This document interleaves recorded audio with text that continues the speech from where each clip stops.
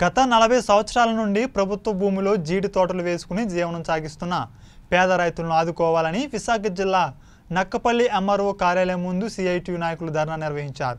పేదలు సాగు చేసుకుంటున్న భూమిని బినామీ పేర్లతో జీపీ చేయించిన ఆంధ్రప్రదేశ్ రాష్ట్ర రోడ్ ట్రాన్స్పోర్ట్ కార్పొరేషన్ చైర్మన్పై చర్యలు తీసుకోవాలని డిమాండ్ చేశారు. ఆ భూమిని తిరిగి అప్పగించాలని రిజిస్ట్రేషన్ చేసిన జీపీ వెంటనే రద్దు చేయాలంటూ బాధితులు నక్కపల్లి ఎంఆర్ఓ కార్యాలయం ముందు సిఐటియు ఆధ్వర్యంలో ధర్నా నిర్వహించారు. సిపిఎం అప్పలరాజు మాట్లాడుతూ విశాఖ జిల్లా నక్కపల్లి మండలం పెద్దదొడ్డుగొల్లు గ్రామంలో సర్వే నెంబర్ ఒకటిలో మూడు వందల ముప్పై నాలుగు ఎకరాల ప్రభుత్వ బంజరు భూమిలో గత నలభై సంవత్సరాల నుండి పెద్దదొడ్డుగొల్లు గ్రామ పంచాయతీ సీతంపాలె గ్రామ ప్రజలు సీతంపాలెం గ్రామ పేద ప్రజలు జీడి మామిడి తోటలు వేసుకుని జీవనం సాగిస్తున్నారు. విశాఖపట్నం జిల్లా నక్కపల్లి మండలం పెద్దదొడ్డుగొల్లు సర్వే నెంబర్ ఒకటిలో మూడు వందల ముప్పై నాలుగు ఎకరాల ప్రభుత్వ బంజరు భూమి ఉంది.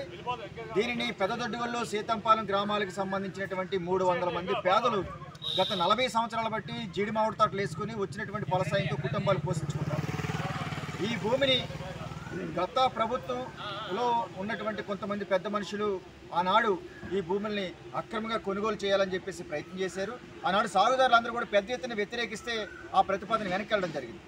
ఈవేళ Andhra Pradesh road transport corporation chairman garu అయినటువంటి విజయవాడ హనుమాన్ జంక్షన్కి సంబంధించినటువంటి కనుమూరి సుబ్బరాజు గారు ఇక్కడ ఉన్నటువంటి స్థానికంగా ఉన్నటువంటి కొంతమంది పెద్ద మనుషులు అధికారుల్ని ప్రలోభాలకు గురి చేసి పదకొండు మంది బినామీ సాగుదారుల్ని తీసుకెళ్ళి రెండు వేల ఇరవై ఒకటి జూలై పద్నాలుగో తేదీన విజయవాడలో సబ్ రిజిస్టర్ కార్యాలయం రెండులో జీపీఏ చేయించడం జరిగింది.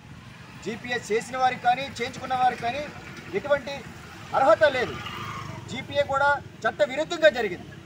ఎందుకంటే రెండు వేల పదిహేనులో ఆంధ్రప్రదేశ్ రాష్ట్ర అత్యున్నత న్యాయస్థానం అయినటువంటి హైకోర్టు తీర్పిచ్చింది. ఆ తీర్పులో చాలా స్పష్టంగా ఆదేశాలు జారీ చేశారు. ఆంధ్రప్రదేశ్ రెవెన్యూ ప్రిన్సిపల్ సెక్రటరీ గారికి విశాఖ జిల్లా కలెక్టర్ గారికి నర్సీపట్నం రెవెన్యూ డివిజనల్ అధికారి వారికి నక్కపల్లి తహసీల్దార్ గారికి చాలా స్పష్టంగా తెలియజేసింది. ఇది ప్రభుత్వ డ్రైల్యాండు ఎవరైతే మూడు వందల మంది పేదవాళ్ళు సాగులో ఉన్నారో వారందరినీ గుర్తించి పట్టాలు ఇవ్వాలని చెప్పేసి చాలా స్పష్టంగా తెలియజేసింది. అయితే రెవెన్యూ అధికారుల యొక్క నిర్లక్ష్యం కారణంగా నేటి వరకు సాగుదారులకు పట్టాలు ఇవ్వకపోవడం వల్ల ఇవాళ సుమారుగా వంద కోట్ల రూపాయలు భూదందా జరుగుతూ ఉంది.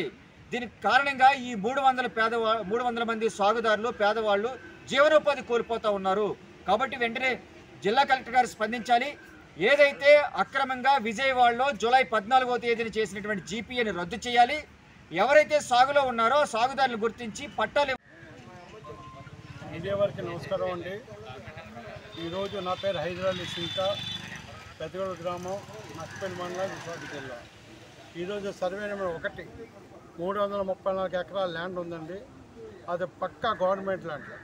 వంద కోట్ల రూపాయలు చేసిన భూమి.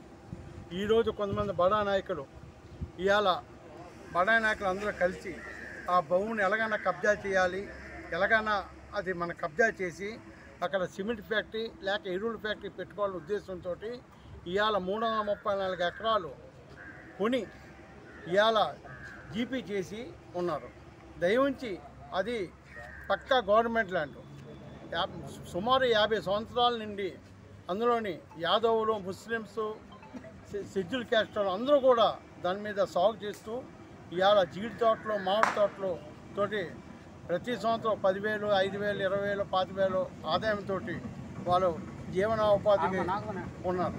దయవుంచి అది పక్క గవర్నమెంట్ భూమి ఇవాళ సుబ్బరాజు అనే వ్యక్తి హనుమాన్ జాంక్షన్ నుండి వచ్చి ఈ భూమిని ఇవాళ మా తాజుద్దీన్ బాబా పెద్దలు గ్రామంలోని మరి సీతాంబాబులో కొంతమంది కలిసి ఇవాళ సుమారు వంద కోట్ల రూపాయల భూమిని యాభై కోట్ల రూపాయలకి వాళ్ళకి అమ్మనట్టు ప్రయత్నిస్తున్నారు దయవుంచి మీ బియ్యం ద్వారా తెలిపిన విధంగా కలెక్టర్ వారికి ఎంఆర్ఓ వారికి తహసీల్దార్ వారికి సబ్ కలెక్టర్ వారికి అందరికీ మీరు చెప్పాల్సిందిగా ఈ భూమిని తక్షణం ఆపండి.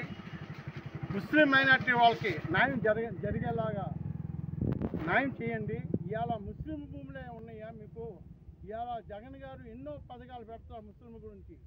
ఇవాళ ఈ భూముల్ని కూడా ఈ విధంగా తీసుకోవడం అనేది అన్యాయం.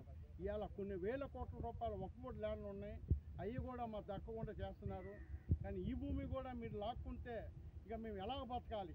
ఏ విధంగా బతకాలి? అని ఆ గ్రామంలో ముస్లింలు యాదవులు అందరూ కూడా ఈరోజు ఎన్నో గుళ్ళు గుళ్ళు పెట్టి ఈడుస్తున్నారు దయించి మీ మీడియా ద్వారా తరపుగా ఈరోజు మీరందరూ కలిసి మా భూమిని తక్షణం ఆపి మాకు డీఫారం పట్టాలు ఇప్పిస్తారని మేము ఆశిస్తున్నాం. నా పేరు నాగాపలరాజు పెద్దడుగుల గ్రామ సర్పంచ్ని నక్కపల్లి మండలం విశాఖ జిల్లా అండి. మాకు పెద్దడుగుల గ్రామంలో సుమారు మూడు వందల ముప్పై నాలుగు ఎకరాల ల్యాండ్ ఉంది. దీంట్లో ముస్లిం మైనారిటీలు యాదవ్స్ ఎస్సీలు అందరూ కూడా సాగు చేసుకుని గత నలభై సంవత్సరాల నుంచి భూమిలో బతుకుతూ ఉన్నారు. వాళ్ళకి మా గ్రామం నుంచే పెద్దదొడ్డుగల గ్రామం నుంచే కొంత కొంత బ్రోకర్లు బయలుదేరి విజయవాడ వారికి దగ్గర దగ్గర ఈ నూట నలభై ఏడు ఎకరాలు జీపీ చేయడం జరిగిందండి. ఆయన పేరు సుబ్బరాజు రాష్ట్ర రోడ్ ట్రాన్స్పోర్ట్ చైర్మన్ మొన్న ఆయన జగన్ గారు ఇచ్చారు.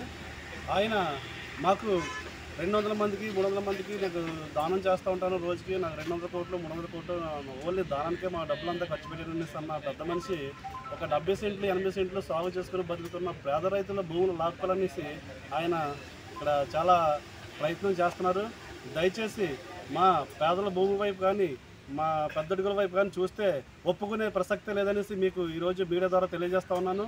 అలాగే గ్రామంలో ఉన్న ప్రతి రైతు కూడా అందరూ కూడా పేదవాళ్ళే బతుకుతారండి ఇక్కడ. మాకు గతంలో కూడా పోలవరం ప్రాజెక్టు రెండు వేల నాలుగులో రాజశేఖర రెడ్డి ముఖ్యమంత్రి అయిన తర్వాత ఆయన దగ్గర దగ్గర నూట నలభై ఏడు ఎకరాల భూమి ఓన్లీ పోలవరం ప్రాజెక్టులో పోవడం జరిగింది. అప్పటి నుంచి కూడా మా జనాలందరూ కూడా ఏ పని పాటు లేకుండా ఖాళీగా కూర్చున్నారు. కనీసం సమ్మర్లో కాజు వస్తుందండి జీడి తోట ఉందండి. ఇప్పుడు ఉన్న మూడు వందల రూపాయల ఎకరాల్లోని ఆ జీడి తోటల మీద వచ్చిన ఆదాయంతో ఇప్పుడు ఉన్న పేద రైతులందరూ బతుకుతూ ఉన్నారు. అది కూడా మా మెక్కేలనేసి కొంతమంది నాయకులు చూస్తున్నారు. దయచేసి వాటి నుంచి మనం మీడియా ద్వారా ట్రై- చెప్తున్నాను. మన ముఖ్యమంత్రి గారి దృష్టికి ఇది ఎలాగైనా తీసుకెళ్ళి ఆయన ఆయన ఏదైనా సరే కానీ రైతులు కాపాడాలని కోరుకుంటా ఉన్నాను. అలాగే సుబ్బరాజు ఏదో నిన్న నుంచి ఏదో మాట్లాడుతున్నాడు. మీడియా ముందు నాలుగు గోడల మధ్య కూర్చొని మాట్లాడుతున్నాడు.